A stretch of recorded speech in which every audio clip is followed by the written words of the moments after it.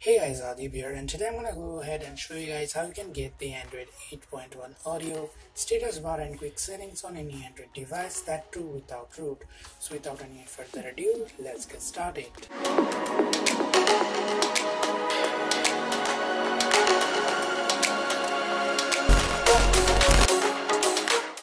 Alright guys, so first of all, go ahead and install this application called as Material Notification Shade from the Google Play Store and after installing it, just toggle it on and give it all the permissions. There you go.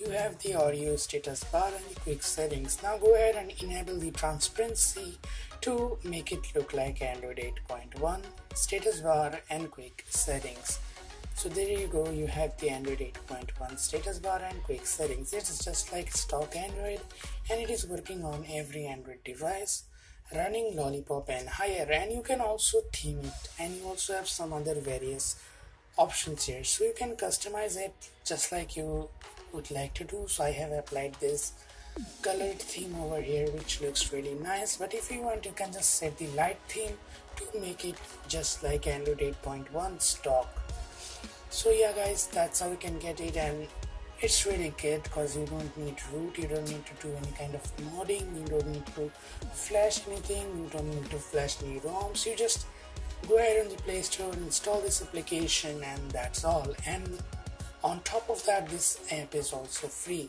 So yeah that's it for this video. Give this video a thumbs up comment down below share this video and subscribe to this channel and i'll see you guys in the next one